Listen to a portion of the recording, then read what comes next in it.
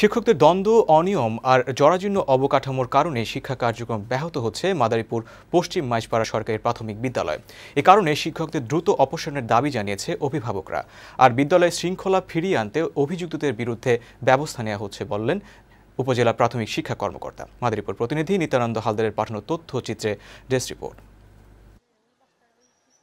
এটি মাদারীপুরের পশ্চিম মাইছপাড়া সরকারি প্রাথমিক বিদ্যালয়ের দৃশ্য।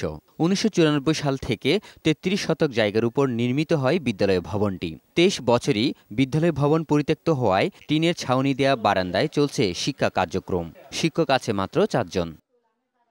শিক্ষকদের অনুপস্থিতি ও নিজস্ব কোন্দলে যথাযথ শিক্ষা থেকে বঞ্চিত হচ্ছে শিক্ষার্থীরা? তাদের অভিযোগ, শিক্ষকরা স্কুলে হাজিরা দিয়ে শিক্ষার্থীদের ক্লাসে বসিয়ে চলে যায়। এইসব অনিয়মের কারণে স্কুলের সব শিক্ষকদের দ্রুত অপসারণের দাবি জানিয়েছে অভিভাবকরা। করে, এই স্কুলটা ভালো না। ছেলেবেলে অনেক অন্য স্কুলে পড়ে এই স্কুলে কেউ আসে না। ঝরগা ঝাঁটি ঝড় জঞ্জাল আমরা চাইছি ভালো লেগে কিন্তু ভালোটা হয় না দেখে আমরা জায়গা কোনো গোলাপান দেই না সোজা কথা। আত্মীয় বুঝি না স্বজন বুঝি না ভাইজিও বুঝি না কেট্টি বুঝি না। সব বদলি করিয়ে দেন। তবে এই অবস্থার জন্য উপজেলা শিক্ষা কর্মকর্তাকে দুষছেন শিক্ষকরা। আর উপজেলা শিক্ষা কর্মকর্তা জানালেন পরিস্থিতি উন্নয়নে দ্রুত পদক্ষেপ নেওয়া হচ্ছে।